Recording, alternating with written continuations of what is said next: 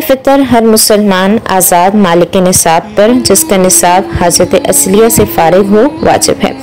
मालिक निसाब से मुराद वो शख्स है जिसके पास साढ़े सात तोला सोना, या साढ़े बावन तोला चांदी, या साढ़े बावन तोला चांदी के बराबर, या उससे जायद रकम मौजूद हो। सदका फ़ितर ईद की सुबह होते ही वाजिब हो जाता है। और नमाज़ ईद से कबल अदा करना मसनून है। और चाहें तो रमज़ान मुबारक के महीने में ही सदका फ़ितर अदा कर सकते हैं, ताकि जो मुस्तक अफराद हैं, वो ईद की तैयारियाँ कर सकें। और जब तक सदका फ़ितर अदा ना किया जाए वजूब साकित ना होगा।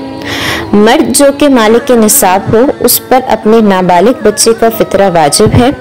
अलबत् बालिग बच्चे और बीवी का फितरा लाजिम नहीं है, लेकिन अगर अदा करना चाहे तो उनकी इजाज़त के बगैर भी अदा कर सकता है।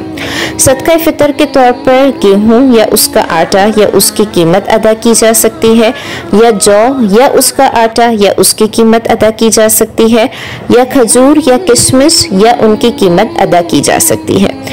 फितर उन्हीं लोगों को दिया जा सकता है जिनको जक़ात देना जायज़ है। वमा इल्लल बलागुल मुबीन।